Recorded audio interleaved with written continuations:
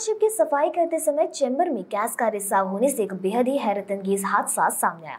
यह हादसा मंगलवार की सुबह तकरीबन सवा दस बजे के दरमियान हुआ। सुबह करीब दो मजदूर चैम्बर की सफ़ाई करने गए थे। इस वक्त चैम्बर से गैस लीक होने लगी, जिस कारण मजदूर उसी चैम्बर में बेहोश हो गए। उन्हें निकालने के लिए डब्ल्यू के मजदूर गए, वो भी घटना के शिकार हो गए और एक अन्य व्यक्ति भी इसका शिकार हो गया। उन सभी को एरिया के हॉस्पिटल से चंद्रपुर रेफर किया गया। उनमें से तीन लोगों की हालत गंभीर बताई जा रही है।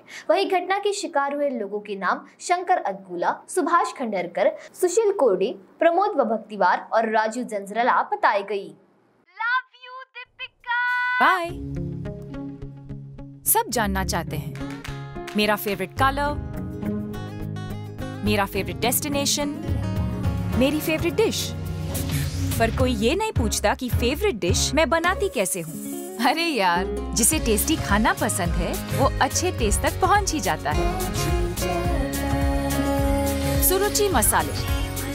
खाने में हो रुचि तो घर लाइए सुरुचि।